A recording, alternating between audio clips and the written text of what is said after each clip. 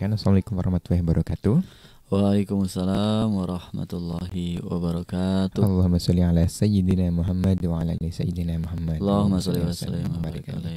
Saya hamba Allah dari Cirebon mau bertanya, apakah wakaf harus ditujukan kepada kegiatan keagamaan saja atau dapat juga ditujukan kepada kegiatan sosial?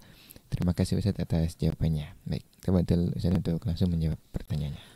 Terima kasih kepada eh, apa namanya yang bertanya semoga Allah SWT memberikan eh, kemudahan di dalam Amin. menjalankan kebaikan. Amin. Amin, Amin, ya rabbal amin, ya alamin. rabbal Dan barangkali juga dari yang bertanya ini akan apa namanya eh, berwakaf ya untuk sesuatu yang bermanfaat eh, untuk umat Islam. Amin, amin. Baik, eh, jadi apa namanya yang ditanyakan ini adalah eh, tentang maukuf alaihnya ya. Eh, kalau bahasa ininya nanti masrifnya ke mana gitu. Hmm. Eh, mungkin yang terkenal atau yang yang umum di masyarakat wakaf itu ya masjid, madrasah, eh, apa namanya pesantren dan lain-lain. Itu yang yang masyhur, yang terkenal ya bahwa wakaf itu ya untuk kegiatan-kegiatan itu. Hmm. Nah, kalau dilihat dari contoh yang disebutkan oleh para ulama, itu justru contohnya adalah eh, apa namanya banyak yang yang menyebutkan kegiatan sosial.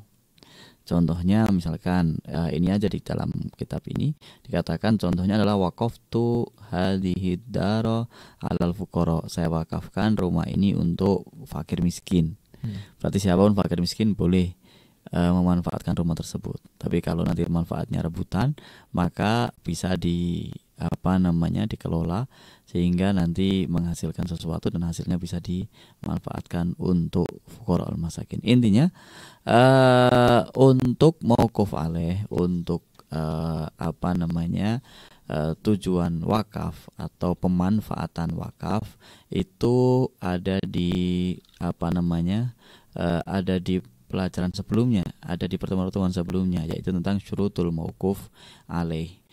Eh, yang mana di antaranya adalah alla yakuna maksiatan. Nah, ini jadi yang terpenting adalah bukan untuk kemaksiatan. Nah, misalkan eh, ini diwakafkan untuk rumah sakit. Rumah sakit kan sosial juga. Ini diwakafkan misalkan untuk sekolahan misalkan di pendidikan lah. Ini diwakafkan misalkan untuk eh, tadi orang-orang fakir. Ini diwakafkan untuk orang-orang pinggiran, orang-orang eh, jalanan lah yang nggak nggak punya rumah itu ya. Eh, kemudian ini diwakafkan untuk misalkan eh, korban ini misalkan kemarin korban gempa ya yang mereka eh, apa terdampak sampai rumahnya roboh hancur. Apalagi yang sampai tanahnya itu hilang gitu ya. Tanahnya akan bergeser-geser gitu sampai hilang. Ya Allah sehingga eh, perlu tanah baru. Nah maka boleh wakaf untuk eh, apa namanya untuk korban gempa. Jadi intinya adalah bahwa wakaf tidak hanya masjid, madrasah, pesantren, majelis taklim, tidak hanya itu. Bisa untuk kemanfaatan-kemanfaatan yang lebih umum lagi yang jelas bukan untuk kemaksiatan. Berarti termasuk juga mungkin ini butuh jalan. Terkadang orang eh, mohon maaf nih agak agak berat, agak pelit ketika tanahnya diminta walaupun hanya setengah meter untuk jalan.